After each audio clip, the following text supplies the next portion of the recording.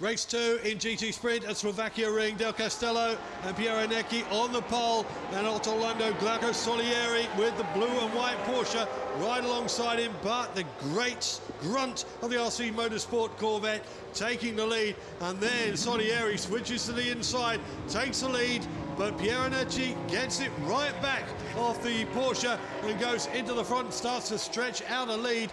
Meanwhile, the open class Porsche 997 slots into third place. Behind them, Croce was having a big battle, trying to get up through the field with his Ferrari. But out in front, it was always going to be the big battle between Piero Necchi and Glauco Solieri. Solieri always closing up, and after the changeover, uh, Del Castello in the Corvette, the tyres were shot.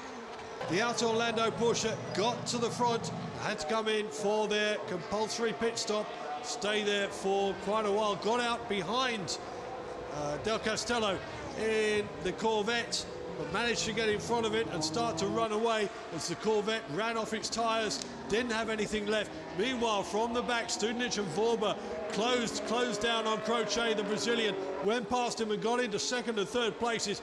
But Glauco Solieri from the front took the win with Studenich and Vorba in second and third places. Let's see what happens next time.